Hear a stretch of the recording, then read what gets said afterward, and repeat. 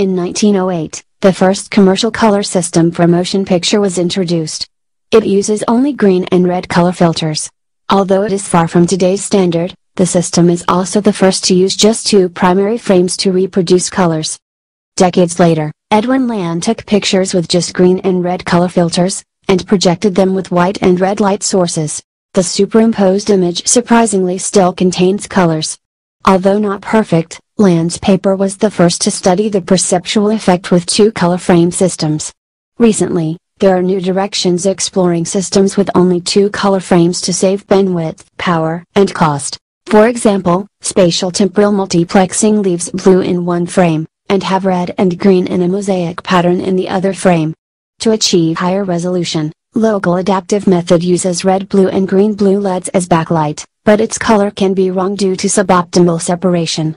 Alternatively, the backlight can be content adaptive and globally optimized, but finer local details can be missing due to larger global errors. Learning from the previous methods, we propose the locally optimized mixed primary displays. Here's a quick comparison.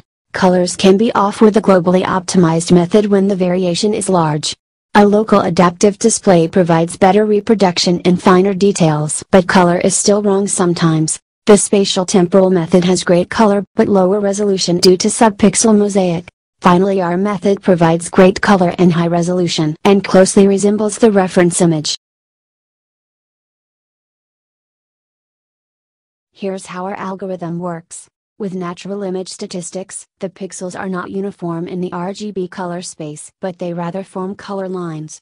Exploring this, we can find least square fitted principal axes and projecting pixels to find the optimized frames. This is the global content adaptive optimized 2 primary method. Although image looks great globally, finer details are ignored by the least square fitting. Here is our method. Learning from the local image statistics and the low pass color filtering in human visual system. We solve the problem locally. Our algorithm solves for two frames, each contains a low resolution color backlights array and a high resolution monochromatic image. The monochromatic image optically modulates or attenuates the backlights, and we can temporally or optically add up the two frames. The result closely resembles the reference image, and we even improve the algorithm to consider both practical hardware constraints and perceptual effects. Here, we build two prototypes. The first prototype is built from a high-speed monochromatic LCD in the front and a low-resolution color LEDs array in the back. The frames are temporally multiplexed beyond the flicker fusion rate. The second prototype is a projector with only two spatial light modulators and two low-cost and low-resolution color LCD. Their optical superposition also adds up the reference image. Here are some results. Global 2 primary method closely resembles the reference image, but local color is missing. When we photograph the prototypes, due to practical hardware constraints, Global 2 Primary can have severe color shift. Similar to our hardware, the two-field scheme uses low-resolution red blue and green blue backlights. Without properly optimizing the modulation, their results can have blue or purple tints. Finally, our local backlight are properly optimized or mixed to both frames, so it can better reproduce the reference. Here is another example with both simulation and photographs and our method has better colors. We also compare the color gamuts. In the Global 2 primary display, since only two colors are used, all the color points are projected onto the curve, and a lot of greens are missing. The two-field scheme incorrectly adds too much blue to the gamut. Finally our method more faithfully represents the original color points. Here, we also show the video result